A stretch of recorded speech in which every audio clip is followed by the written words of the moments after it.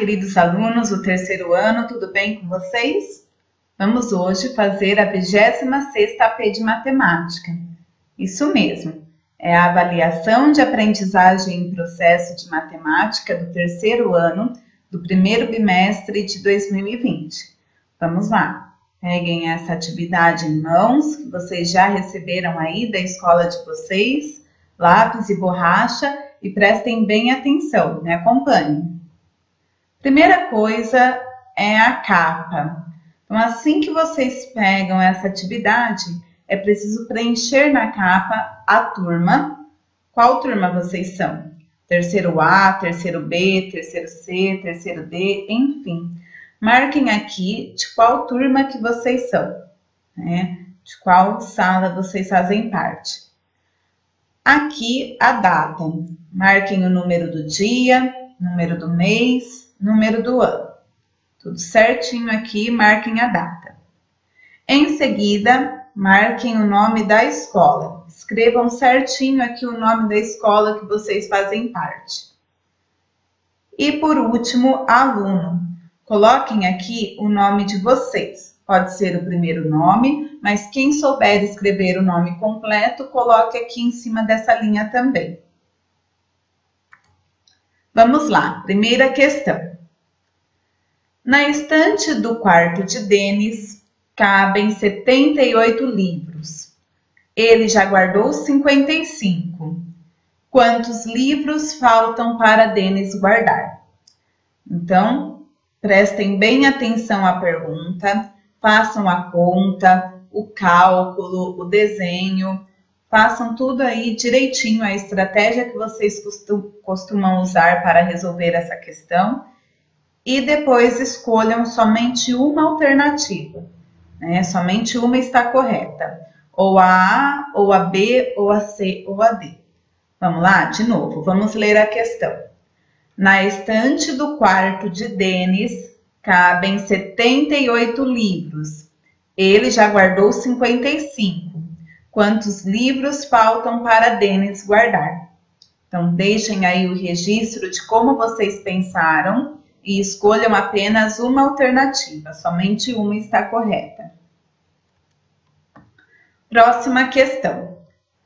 Bela organizou seus brinquedos e descobriu que tinha 29 ursinhos e 15 bonecas. Quantos brinquedos Bela possui?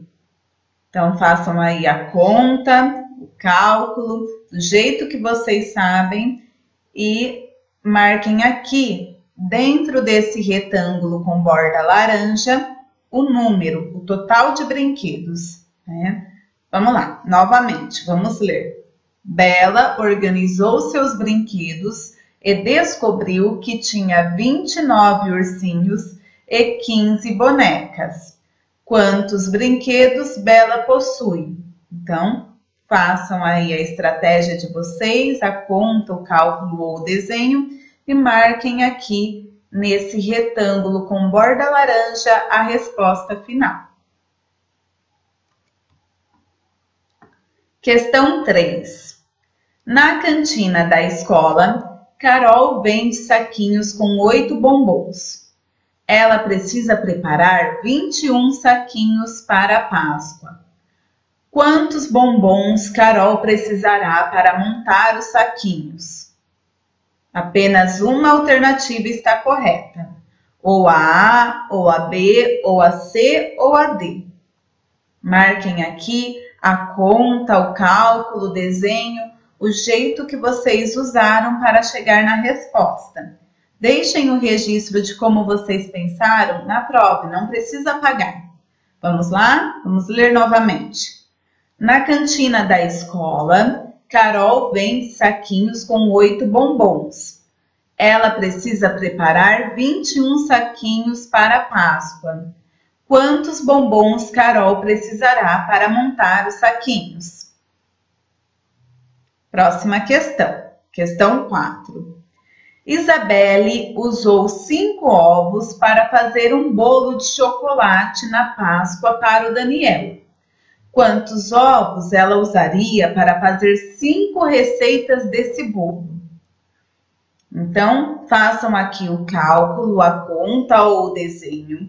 Mantenham aí o registro, não precisa apagar o jeitinho que vocês pensaram, mas lembrem-se sempre de colocar a resposta final aqui, dentro desse retângulo com borda laranja, certo? Vamos lá, vamos ler novamente. Questão 4. Isabelle usou cinco ovos para fazer um bolo de chocolate na Páscoa para o Daniel. Quantos ovos ela usaria para fazer cinco receitas desse bolo? Coloquem aqui a resposta. Bem, próxima pergunta. Questão 5. Nilson juntou suas economias para comprar pães. A seguir estão representadas as cédulas e moedas que possui. Nilson gastou todo o dinheiro na compra dos pães. Quanto ele gastou? Então, aqui vocês veem as cédulas e as moedas. Vocês precisarão contar quantas cédulas, quantas moedas, uh, ver aqui o valor de tudo isso, né? Quanto aqui de dinheiro nós temos. E aí somente uma das alternativas está correta. Ou a A, ou a B, ou a C, ou a D. Podem marcar o cálculo, a conta, uh, o jeito que vocês pensaram para resolver essa questão. Deixem aí uh, um modo como vocês pensaram, não precisa pagar. Vamos ler novamente. Questão 5. Nilson juntou suas economias para comprar pães. A seguir, estão representadas as cédulas e moedas que possui. Nilson gastou todo o dinheiro na compra de pães. Quanto ele gastou? Então, olhem todo esse dinheiro que está aqui Vejam quanto que tem aqui de dinheiro. Tudo isso foi o que ele gastou na compra de pães. Então vamos lá para a questão 6. Gabriela foi fazer compras com sua avó. Na loja havia um quadro com produtos em oferta, com o preço de cada produto. Se Gabriela escolher um fone de ouvido e uma agenda, quanto sua avó irá gastar. Aqui está o quadro com os produtos em oferta, desse lado produto e desse lado preço. Prestem bem atenção. Quanto que ela irá gastar se comprar o fone de ouvido e a agenda? Quanto sua avó irá gastar? Coloque a resposta aqui dentro desse retângulo com a borda laranja. Bem, vamos lá, vamos ler novamente. Gabriela foi fazer compras com sua avó. Na loja havia um quadro com produtos em oferta, com o preço de cada produto. Se Gabriela escolher um fone de ouvido e uma agenda, quanto sua avó irá gastar? Pode deixar aqui nessa atividade o seu cálculo, sua conta, o modo como você fez para resolver. Não precisa pagar. Só não se esqueçam de colocar a resposta final aqui dentro desse retângulo laranja, com a borda laranja. Vamos lá para a próxima questão. Questão 7. Para fazer cupcake, Soraya precisava dos ingredientes que estão representados no quadro a seguir. Ela foi ao mercado e esqueceu de comprar os ingredientes que estão localizados à esquerda dos ovos. Quais ingredientes faltaram para fazer o cupcake? Observem aqui, tem todos os ingredientes. Né? É, aqui tem as alternativas, somente uma alternativa está correta. Vamos lá, vamos ler novamente. Questão 7. Para fazer cupcake, Soraya precisava dos ingredientes que estão representados no quadro a seguir, nesse quadro. Ela foi ao mercado e esqueceu de comprar os ingredientes que estão localizados à esquerda dos ovos. Quais ingredientes faltaram para fazer o cupcake? Então, vejam aqui as alternativas e somente uma alternativa contém aí os ingredientes que estão à esquerda dos ovos. Questão 8. O desenho a seguir representa a localização das casas das crianças que moram nos arredores da escola. Observe. Então, aqui a gente tem a representação. Aqui é a escola, aqui é a casa do Pietro, casa do Olavo, da Vitória, da Luísa, do Mateus e a praça. Observaram bem? Prestem bem atenção. Primeira pergunta. A. Qual criança percorre a menor distância para ir à escola? Então, qual criança? Coloque o nome dessa criança aqui nessa linha. B. Qual criança percorre a maior distância para ir à casa de Luísa? Então, qual criança? Coloca o nome dessa criança aqui em cima dessa linha. Vamos ler novamente? Questão 8. O desenho a seguir representa a localização das casas das crianças que moram nos arredores da escola. Observe. Para responder as questões A e B, é preciso olhar bem para essa representação, para essa figura.